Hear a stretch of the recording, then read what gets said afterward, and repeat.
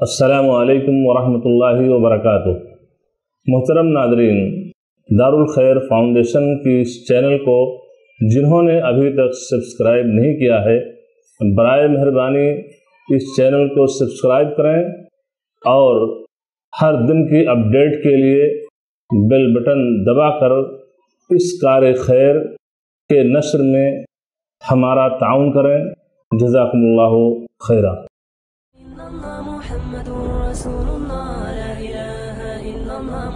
محمد رسول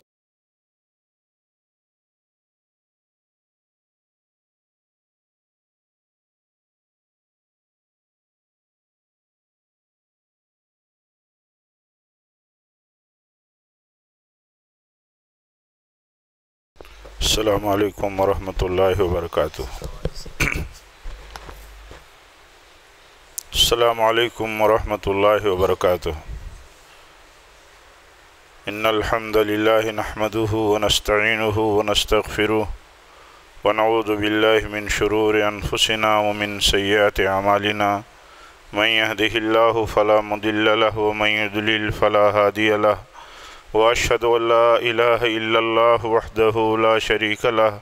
واشهد ان محمدا عبده ورسوله. يا ايها الذين امنوا اتقوا الله حق تقاته ولا تموتن الا وانتم مسلمون. يا ايها الناس اتقوا ربكم الذي خلقكم من نفس واحده وخلق منها زوجها وبث منهما رجالا كثيرا ونساء واتقوا الله الذي تساءلون به والأرحام. إن الله كان عليكم رقيبا. يا أيها الذين آمنوا اتقوا الله وقولوا قولا سديدا يصلح لكم أعمالكم ويغفر لكم ذنوبكم ومن يطع الله ورسوله فقد فاز فوزا عظيما. أما بعد فإن خير الحديث كتاب الله وخير الهدي هدي محمد صلى الله عليه وسلم وشر الأمور محدثاتها وكل محدثة بدعة وكل بدعة ضلالة وكل ضلالة في النار. أعوذ بالله من الشيطان الرجيم. لقد كان لكم في رسول الله أسوة حسنة.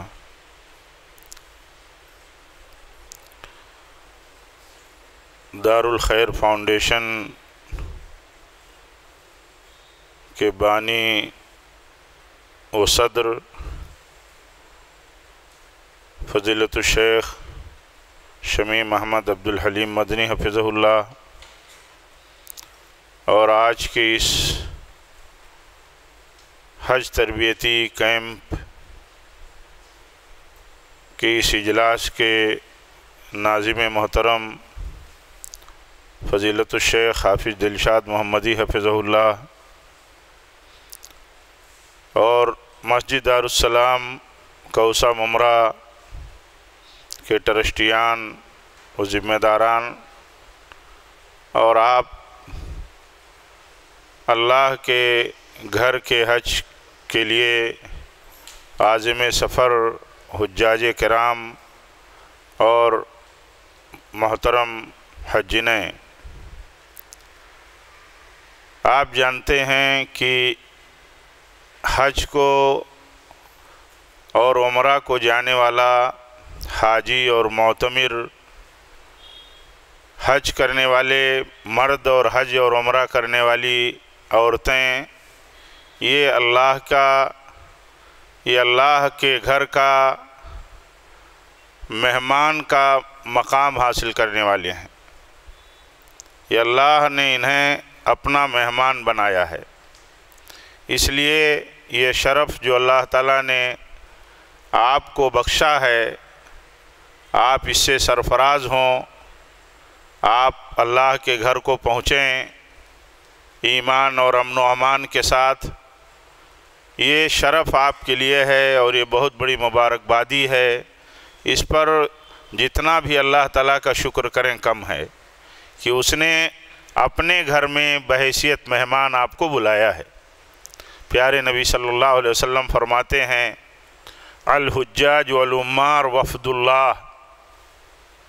حج اور عمرہ کرنے والے اللہ کے مہمان ہیں۔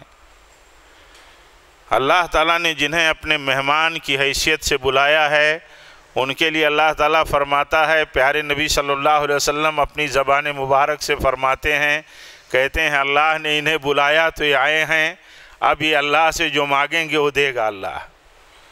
اس لیے یہ دونوں باتیں بہت بڑی شرف کی ہیں۔ ایک تو اللہ کے بلاوے پر حاجی، اللہ کے گھر کو جاتا ہے اور دوسری بات اللہ تعالیٰ نے ان کے اعزاز میں یہ بتائی ہے کہ اب یہاں جو وہ مانگیں گے اللہ تعالیٰ دے گا۔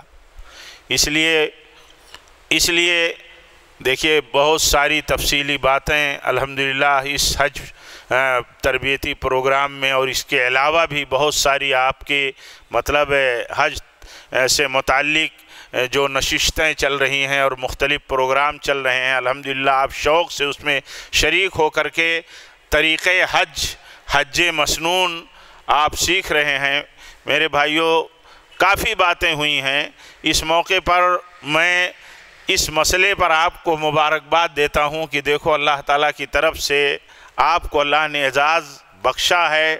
آپ اللہ تعالیٰ سے دعا کرتے رہیں۔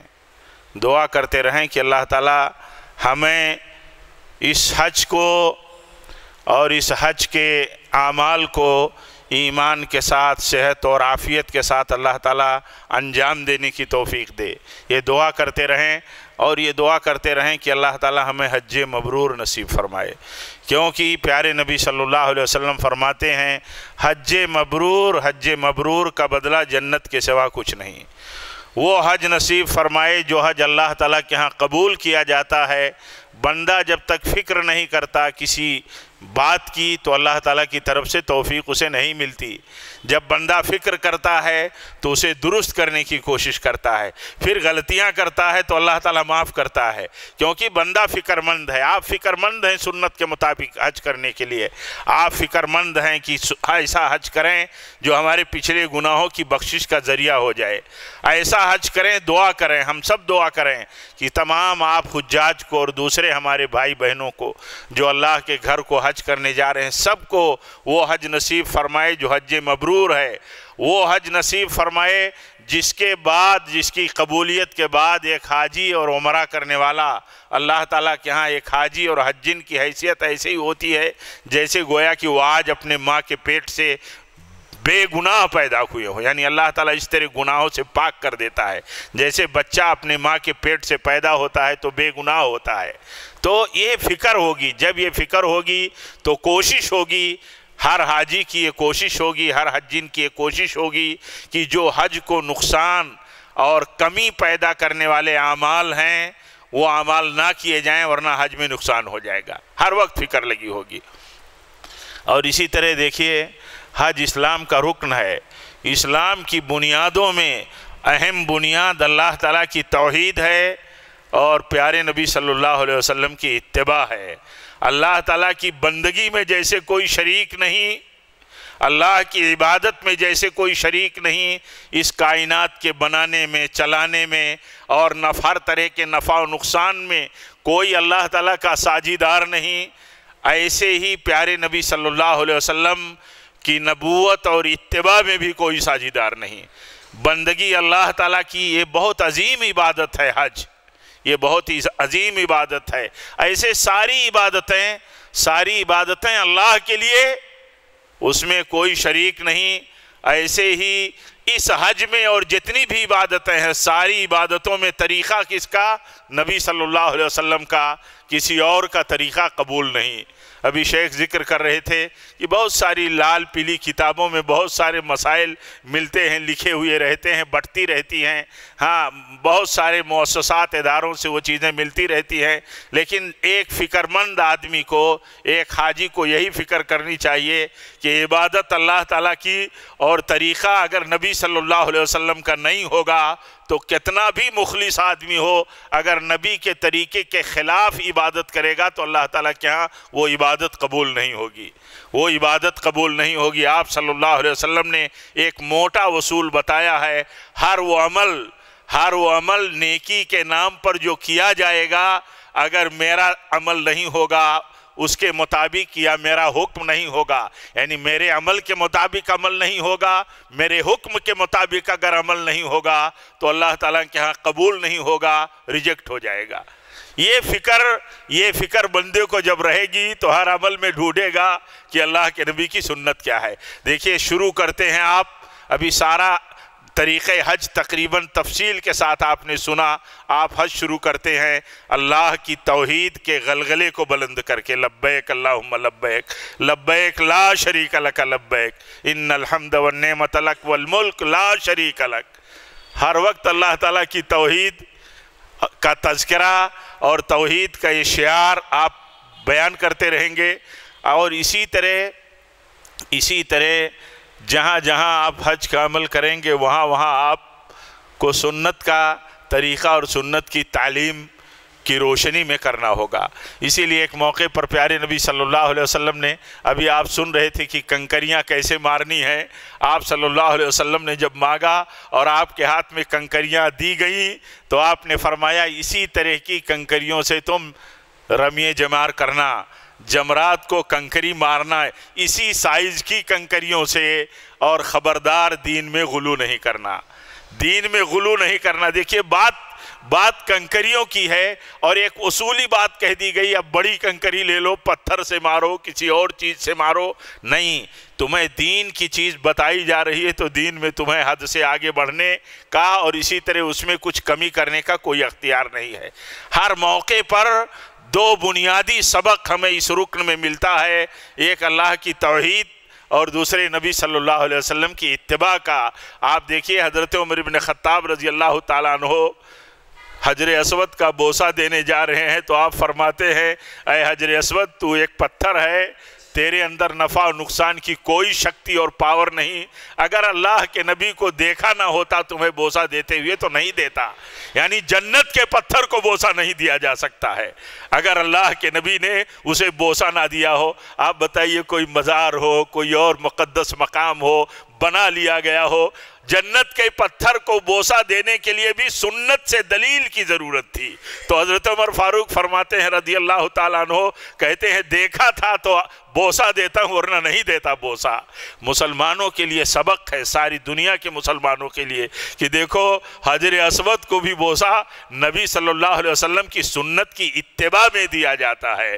اب اگر اور کہیں کسی قبر اور کسی مدار اور کسی مقدس جگہ کا بوسہ دیا جانا بھی سنت ہو تو آپ اس سنت کی روشنی میں کریں، ورنہ یہ بدعت ہے، اس کو ترک کرنا ضروری ہے۔ مفضی شرک ہے، اس کو چھوڑنا ضروری ہے۔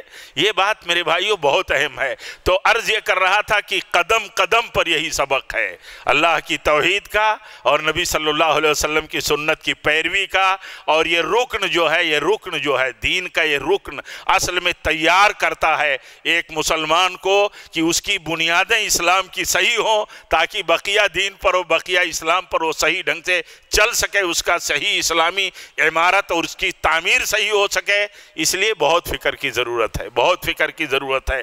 بعض سلف نے جب کعبہ کی کسی بھی حصے کو چوما تو منع کر دیا گیا۔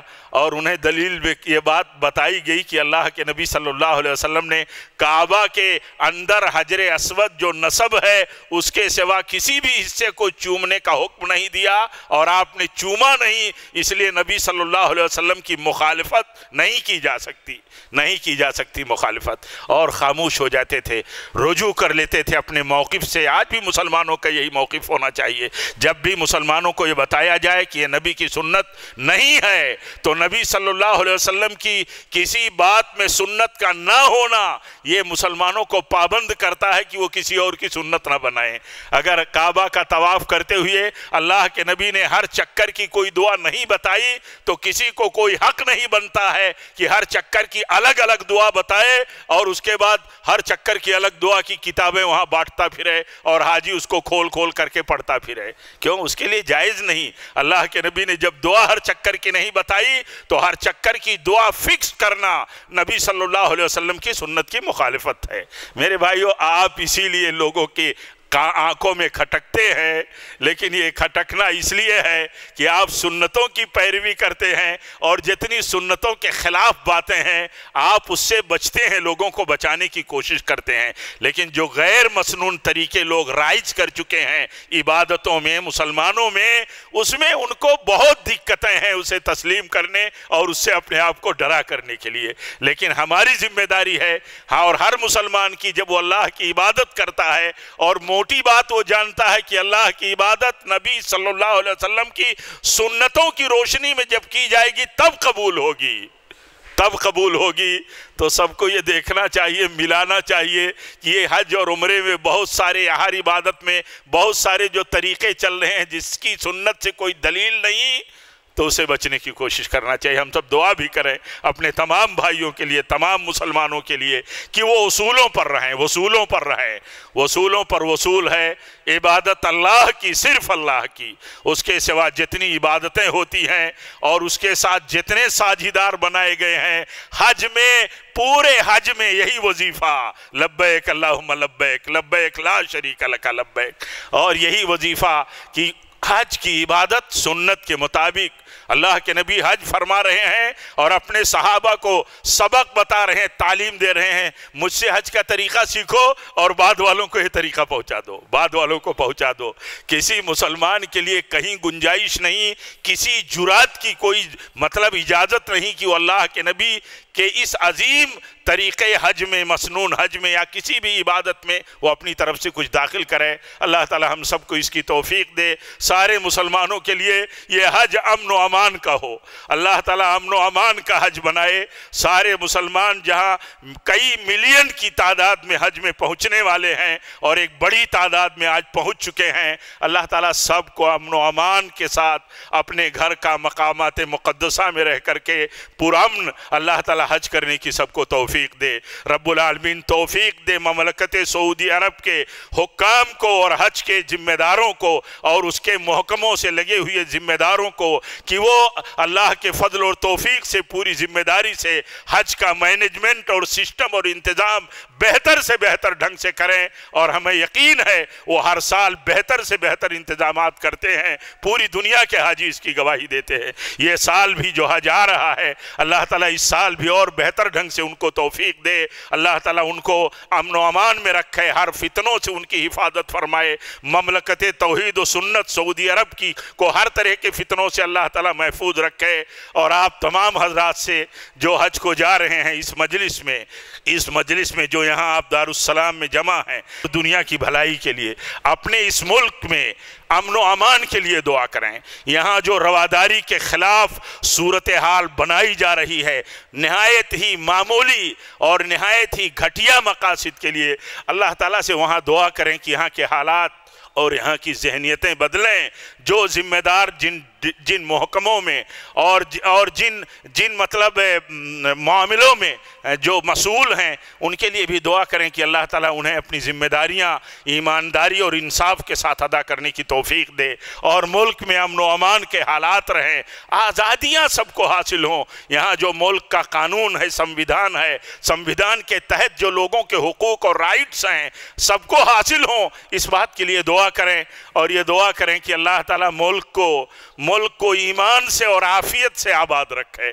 کیونکہ کوئی بھی ملک اگر ایمان اور عافیت کے ساتھ نہیں چلے گا، انصاف کے ساتھ نہیں چلے گا، تو آپ یہ جان لیجیے کہ وہ ملک کتنا بھی طاقتور ہو، وہ بکھر جائے گا، برباد ہو جائے گا۔ یہ بہت چھوٹی اور نہ سمجھی کی باتیں ہیں کہ ایک طبقے کو یا کمزور طبقے کو ستا کر کے اور ان کے حقوق کو برباد کر کے ان کی عزت و آبرو کو کے ساتھ کھیل کر کے کوئی طاقتور اور ترقی کرتا ہے، ایسا نہیں ہے۔ ایسا تاریخ میں کوئی ریکارڈ نہیں ہے۔ تاریخ یہ بتاتی ہے کہ ظالم اپنے انجام کو پہنچ جاتا ہے۔ بھلے ہی کچھ دیر لگے۔ ظلم کا انجام بہت جلد آتا ہے، بھلے ہماری نظر میں بہت دیر لگے۔ اور ہمارے سامنے بڑی ظالم قومیں، طاقتیں، حاکموں، بادشاہوں کے واقعات بھی اللہ تعالیٰ نے بتائے ہیں۔ اس لیے، لیکن ہمیں اس فکر کے ساتھ وہاں دعا کرنی ہے کہ اللہ تعالیٰ ہمارے حالات بہتر کرے اور ملک میں امن و امان عام ہو۔ اور جو بے چینیاں آج ملک میں پھیلی ہوئی ہیں، یہ بے چینیاں ختم ہوں۔ ملک کے ایوانوں میں، اقتدار کے ایوانوں میں جو لوگ بیٹھے ہوئے لیے ہے، اللہ تعالیٰ ان کو سمجھ دے اپنی ذمہ داریاں، وہ پوری طور پہ ادا کریں، ہمیں امید بھی ہے۔ ہمیں نا امیدی نہیں ہے، ہمیں امید ہے کہ آج اس اس دنیا، آج کی اس دنیا میں جہاں ایک پورے ملک کے اندر ہونے والے حادثات دنیا کی نظر میں ایک بستی کی صورت میں ہونے والے حادثات کی طرح دیکھے جاتے ہیں۔ ہندوستان اس پستی میں نہیں جائے گا کہ یہ جو سرفرا پن چل رہا ہے، اس کو آزادی کے ساتھ چھوڑ دیا جائے گا۔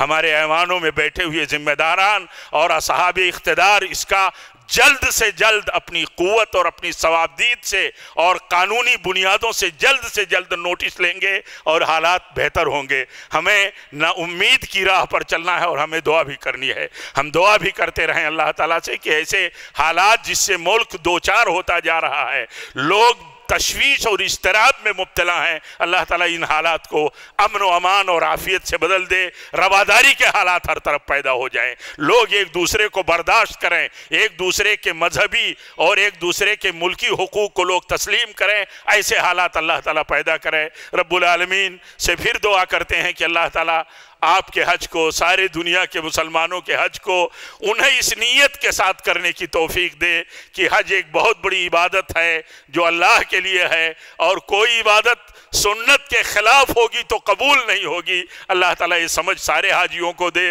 اور سب کو ان بنیادوں پر ان کی حج کو قبول فرمائے اور ہم سب کے لیے آپ لوگ دعائیں کریں ملک، ملت کے لیے، دین اور جماعت کے لیے اور اللہ تعالیٰ سے ہر طرح کی دنیا اور آخرت کی بھلائی کے لیے ربنا تقبل منا انکا انت السمیع العلیم واخر دعوانا ان الحمدللہ رب العالمین والسلام علیکم ورحمۃ اللہ وبرکاتہ